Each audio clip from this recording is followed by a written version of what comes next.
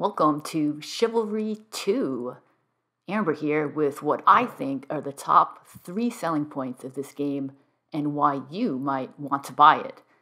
But whether or not you decide to spend your hard earned silver on this title, do consider subscribing to my channel for more news and reviews, tips and tricks, guides and gameplay for Chivalry 2 and other awesome video games. This game looks to be a surefire hit for three types of players. First and foremost, those of you that love first person hack and slash games. The original Chivalry was a pioneer in bringing sword fighting to the FPS genre, and this sequel is building upon that strong foundation. The combat is designed to be easy to learn but difficult to master there are a few basic attacks and blocks which can be combined into interesting combos, but only if you get the timing right. For example, parry your opponent's strike before their sword hits your face. Now, you can play as an archer in this game, that is one of the four classes. So, if you prefer ranged attacks using your bow and arrows, Chivalry 2 has got you covered.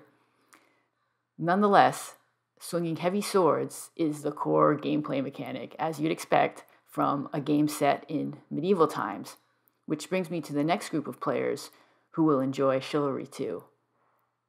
Fans of epic medieval movie battles. If you like historically accurate battle simulations, there are many you can play, but this game is for those of us that prefer a more Camelot like fantasy setting, like you'd see in Lord of the Rings or in Game of Thrones, and even some of the dark comedy of the Monty Python movies. There is a lot of blood, gore, and dismemberment here, but it's presented in an over the top, comical way. In other words, this game doesn't take itself too seriously. And I personally do appreciate a bit of silliness in my video games, such as the ability to throw chickens at your enemies. These sandbox battlefields have lots of things to interact with and turn into weapons, like pitchforks and tomatoes. Yet, it's not all fun and games because your teammates are depending on you.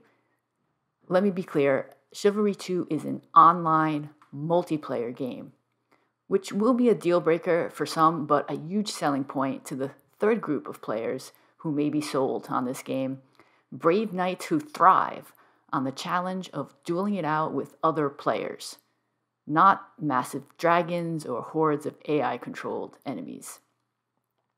There is an offline single player training mode, but there is no single player campaign. This is an online multiplayer fighting game with up to 64 players on a map.